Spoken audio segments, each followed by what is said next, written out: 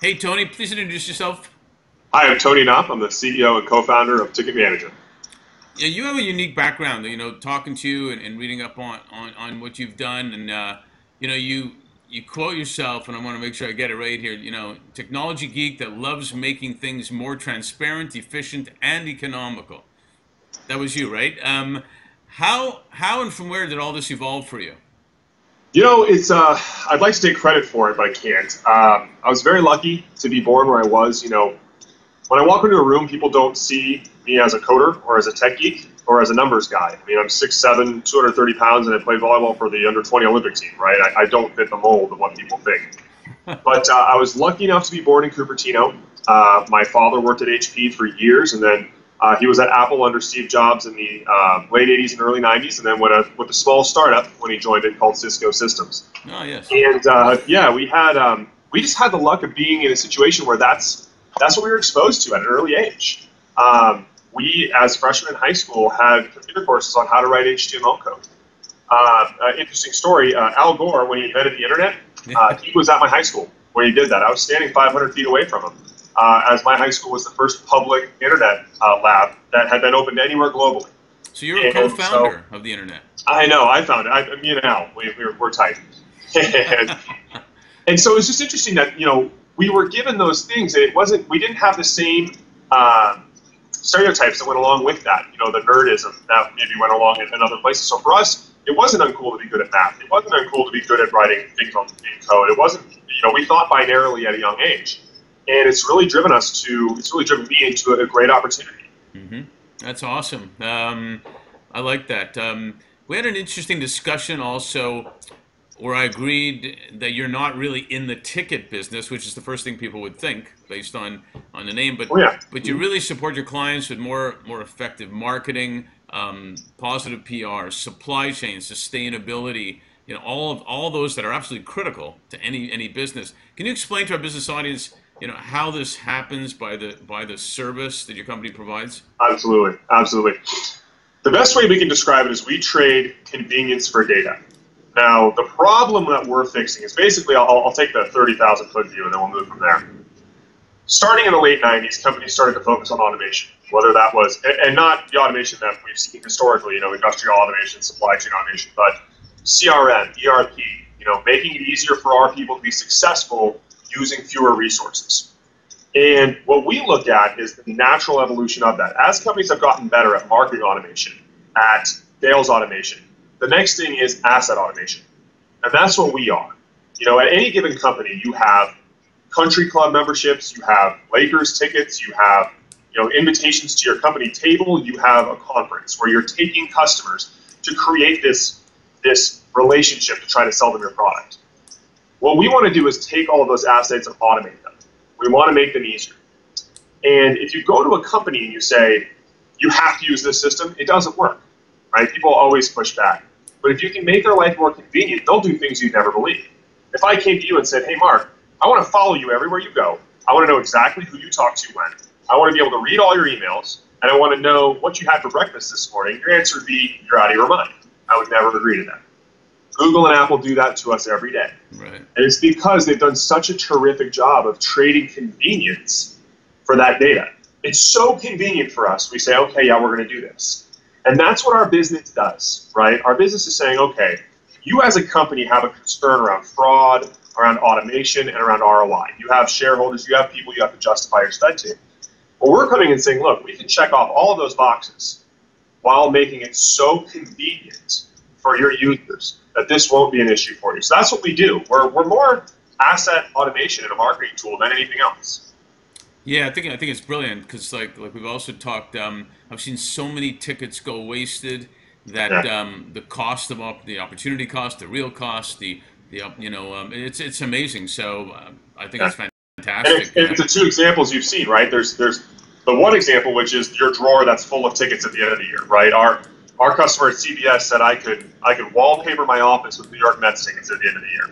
But the other one you see is when you show up to see you know the Lakers play the Celtics in the NBA Finals, and there's a 16 year old boyfriend of the neighbor of your assistant's dog sitting in the seats, right? And and that's what we're looking to help companies with to say, look, it's not just non-use, it's underuse, and it's you know fraudulent use, which we have plenty of stories about people breaking every rule you can imagine with sports tickets. Yeah, I, I bet. Um, you know, on the on the theme of sports, you've been in and around it. Obviously, um, sure. an executive of a actually a pro hockey team told me a while back. He said that um, they always aim every year to win the championship.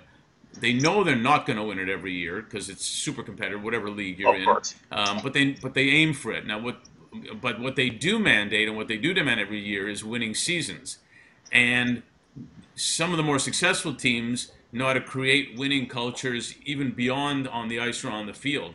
How do you create a winning culture in, in an organization like yours?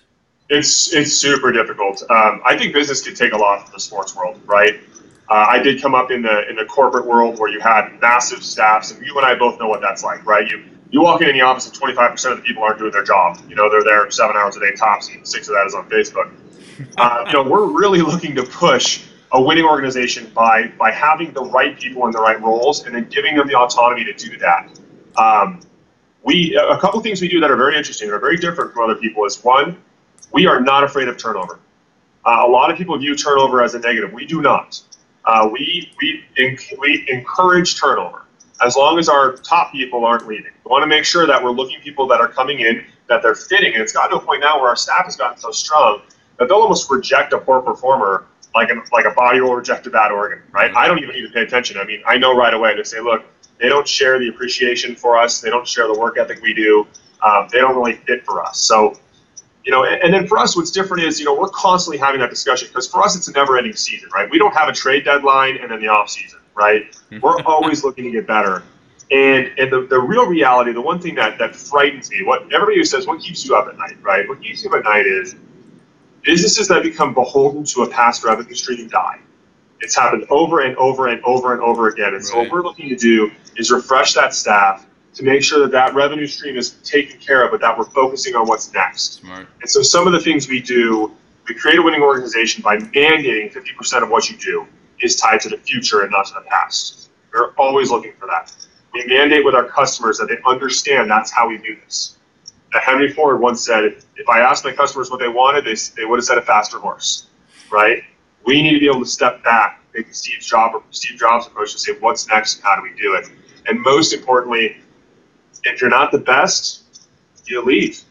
Uh, we constantly look at our, our staff and you know, there's no surprise to me. It's funny because some people would hear that and they would say, I never want to work in a situation like that. Well, then you probably shouldn't work here, right? Right. The people that are here longer than six months, we have very, very little turnover because they're hard workers who love what we do and we do a great job together. And because of that, we're constantly pushing for more. And, and we expect the same of myself and everybody else. Well, I think that's how you reward the ones that want to build a championship. And it turns out a lot of times the ones that can't or don't want to deselect themselves anyway. They don't. We don't have a salary cap, right? I mean, for us, there's not, you can only have so many max players and max roles. We, we can go get max players in every role, and we can always do better. And that's that's how we do it with our staff, and we approach it that way. We, we bring people in sometimes who maybe are a little below the level, and we tell them, look, we know that. We're going to put you in the game. You're going to throw some interceptions. As long as you come back to the sideline and understand why you did it and how. You don't point fingers, you don't complain, you don't hang your head. Right. You're going to work out here, right? And it's, uh, I'm humbled by the staff we have here. They're fantastic. They make me look good every day, which is not easy to do. So, Yeah. Right. well, six foot seven. I you know I don't know. yeah, Exactly. uh, you know they say the best ROI of somebody that's made a mistake is not to fire them. yeah, absolutely. I mean, we're always looking to get people that are growing. And, and you know, for us, it's never been a circumstance of somebody like making a mistake and having to go. It's usually the effort that's the issue, right? If you're if you're a talented person who's working hard and who's dedicated we're doing, it's our job to make you succeed.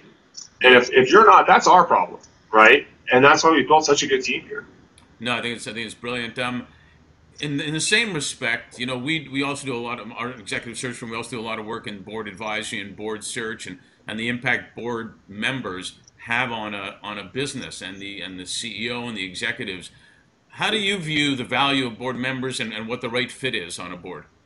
You know, um, I'll do a little self-deprecating first in the hope that somebody else will learn from that path. Um, I underestimated dramatically the value of a board when we built one six years ago. I thought, you know, these are a couple of people that are going to come in and vote. We'll see them here and there. I did not understand how much of an asset they can be, and I didn't understand just how important they are. And I got real lucky with some of the guys that we found at that point. Um, I think a board is one of the most crucial assets you have in a business. Um, you know, when you're the CEO, they're the guys, they're your boss, first of all, but they're also the people that you can actually talk to, right? right? It's, you can't be friends with your staff to a certain level, right? In the end, you are the boss. You have to turn your back on that on that crowd to lead the orchestra. I think uh, what I would give as far as, you know, how do I do the right thing, right?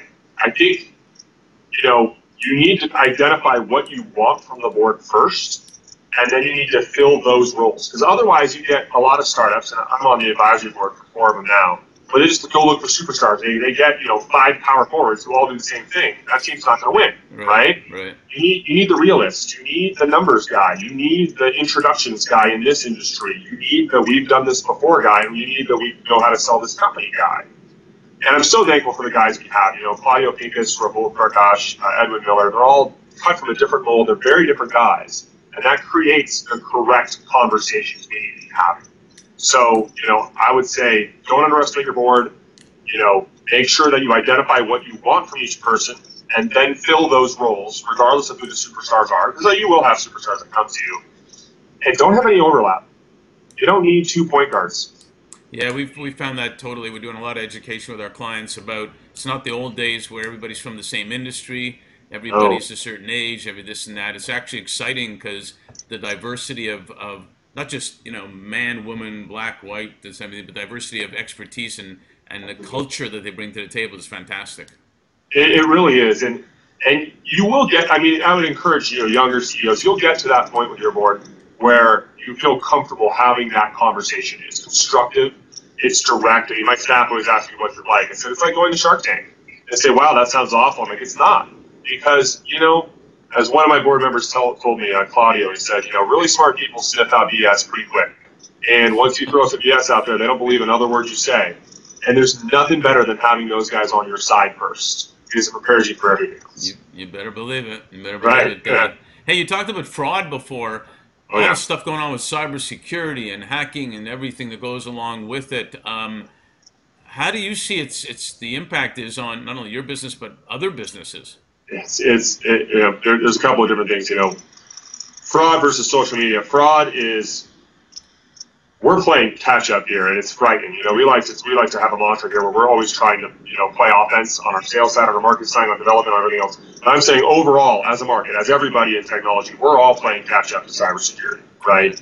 Uh, there are genius people out there looking for any chink in the armor they can find, and it, it's mandatory for all of us to get to a point where we can we can defend that armor. And I think everybody has a reasonable expectation with what that comes to. Um, so we have to we have to invest a significant amount of money in that. And the reality is, in us signing up customers, that's the majority of our conversation. You know, we get a hundred page document about here's what it takes to do business with Wells Fargo. Ninety-five pages of that is cybersecurity, fraud, and information. Right. Mm. That's just the world we live in. Right. And and I think um, it's interesting. You, you mentioned social media and, and kind of how you manage that and manage your reputation through that. I think that transparency is a great disinfectant. I heard somebody say that years ago, and I really believe that. I think the only people who are afraid of those things, you know, backfiring on them are those who are maybe not living, you know, a called life that they were supposed to. You know, right. I think I think as a leader, you really are called to to be honest, to live the life that you lead in the company and outside of it. I think if you do those things, you're a little less concerned. The truth is always easier to remember, right? Yeah. And That's uh, what my parents yeah. always said, anyway. It is. You know, I'm not smart enough to remember lies. And, um, you know, the reality is on the social media side, we just encourage everybody here. If it's not adding to the conversation, don't say it. And uh, I feel a little like you kids get off my lawn when I'm saying that because uh, I, I, get eye rolls and whatever. I'll say, you know, my staff comes to me because you're not on Snapchat. And I say, you know what? If you're sending me something that has to disappear in 24 hours, I don't want it. Yeah, it's, a, it's a great point you make. Um, it's along along the lines, you know, everything our parents said always seems to come back along the lines. If you have nothing good to say, don't say it. I think what you said was brilliant there, where um, if you have nothing to add, you don't just have to say stuff just to say stuff. You know, right? So, it's the uh, is that Mark Twain or is it Hemingway who says, uh, "Better to let people presume you're an idiot than open your mouth and prove them correct." Absolutely. So that's right. why that's why I try not to talk too much. yeah, exactly. No, I'm with you there. Um, yeah so let me ask you, advice-wise, young up-and-coming leaders. God knows there's, there's plenty of them. Um, yeah. Relation. You were talking about technology. Relationships. How important does that impact uh, they should or should they consider that as uh, impacting their career and their and their life? It's um, uh, you know, I'm a big supporter of mental health. I used to volunteer with uh, the Union Rescue Mission for years when I was in college and afterwards. We've had some of those issues before, you know, around our family. I think the problem you run into with founders, a lot of people really underestimate the effect this is going to have on you, on your spouse, and on the people around you in your life. Um, it is a lonely job at the top, and if you're not prepared for it, if you don't have the people around you who have done this before, if you underestimate it, it will fold. Right. And I've seen it happen with too many people. I would just encourage a startup person to, you know, as much as you want to be the guy who works harder or the girl who works harder than everybody else, and that's fair. I like to say that I'm that person, right? You have to have that balance, and you have to lean on the people who've done it before you, right? Sit down, understand that path, understand what you're getting yourself into, uh, both for your relationship and everything else. Have a very clear conversation. Don't make any assumptions that, honey, you know, I've been married since we started this. This is what we're doing. These are our roles, right? And it's going to be bumpy sometimes, but you know, my wife is the greatest woman in the world to me. And, and we've had those clear def- definitions across the board. It's really helped. And one thing I didn't learn until a couple years into it is you need to also have those with your friends. Um, the reality is, you know, everybody always talks about that analogy of when you go to a store, you can always find the store owner quickly. He's the guy that's out front sweeping the sidewalk, right? Not the guy sleeping behind the counter. And, and that's your life, and that's the way it is. And, and the people that love you will understand that if you're honest about it when you start. That listen, this is what I'm trying to do. This is what it's going to mean for us, and this is where we go forward. And, and if I had told that to 27 year old me when we started this company, I would have rolled my eyes and said that's a bunch of sappy nonsense. Yeah. But um, it's incredibly important moving forward. No, good, good, good advice. Um, so here's some real personal questions, super personal Sure. questions. Uh, do you have a pet or any pets? I do. I have a dog, Hula, a nine-year-old Maltese. She's about this big, so she keeps me busy. All right. Well, you have to send us a picture because we're doing a uh, series that's going to come up called uh, "Pets and Their Executives." Ah, she's the best. She's the best coworker I have. Sits at my feet, and uh, she was here earlier. It's too bad I already took her home. Well, take a picture with you and her and send it in to us for the series. Yeah, absolutely. Hey, uh, I Absolutely. think I know the answer to this. Do you have a favorite activity or sport? You know what? Um, most people think volleyball because they played it, but I'm a big golfer and surfer. Those are the two things I do the most. Uh, I can get in the water, I find a time. Starting a business has been rough on both of those, but um, I, I do my best to get out whenever I can. Good for you. Got to have some balance. Movie, movie, TV show. Any favorites? Uh, I've got a lot of them. I think TV show. Uh, I liked Friday Night Lights. Uh, I really like The Wire. Um, I thought those were both fantastic. I think what's on currently. Um, I enjoy Last Week Tonight. Uh, I think Silicon Valley is pretty funny because it's it's really tied to what we're doing. Right. So. Uh, and as far as movies go, it's, it's just too many. I, I'm an old school guy. I mean, at least for my generation. I like Fletch and Can't Buy Me Love. So Well, my kids took me to an outdoor movie of uh, Ferris Bueller uh, the other day. So for uh, for Father's Day, that was a classic. yeah, it, it hit its 30, 30 year anniversary, I think. Something. it 30 or 25? I know, Yeah, it's unbelievable. I know. It's going fast. Do you have a favorite music and food? I just like live music. You know, uh, I, I joke with my kids uh, that work here that you get off my lawn. I'm never going to apologize for what I like, and uh, it's generally not one genre. Uh, I just like what I like, and uh, so I like a lot of it. Jack Johnson, Tom Petty, you know, Fogerty, you know, those kinds of guys. I like some country stuff. I like some some of the newer stuff. Um, not a big electronic dance guy. I know that's the that's the new fad, So you like but uh, uh, Taylor Swift telling Apple what's up? I, I love it. Good for her, Nice. right? Mhm. Um, and, and the things I've read about it is that's just the kind of person she's always been. So good for her remaining the who Yeah. she is. It's You know, with all that fame, I, I can't imagine having that much fame. I just can't. It's incredible, and she's Right. pretty cute to boot. Yeah, she does all right. She's a talented songwriter, and it all starts with the fact that she's very talented. So, Yeah, in a number of ways. Favorite type of food? um, I like Mexican food. I like to joke that I um, I have a uh, a gringo stomach and a Latino palate. So I love really spicy food, and I, I eat a lot of it, but uh, it doesn't agree with me much as I get older. Well, and that international flavor, thank you so much for participating. Yeah, thank you. Absolutely. We'll see you soon. All right.